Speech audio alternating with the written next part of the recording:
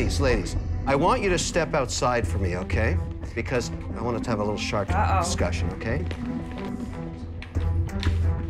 Okay, boys and girl, we all want part of this deal. So what do you want to go up to? I'd like to see what they're offering. I think they're very interested. I Depends on what gonna- value they're going to bring to Yeah. the table. I mean, it depends. You know, I'm not going to give up something what we have. We have tremendous value. Right. I want to avoid a shark fight. I want a piece of the deal. I know everybody else is thinking the same thing, but I want collusion. She turned down $5 million. Yeah, she turned down five million. Do you really want to go in about the dollars or getting all five of us? We have to give her something of tremendous All value. five of All us? five of us are tremendous value. Well, I'd rather have a bigger chunk for myself, to be honest with you. I'm always uh, wary when Kevin does all the talking and Mark doesn't say a word. I'm just listening. I'm just listening. Are you in on this?